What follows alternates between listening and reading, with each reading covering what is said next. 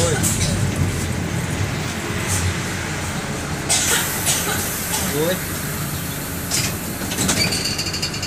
É. Tá demorando, tá já nas paradas, tá lá de manhã.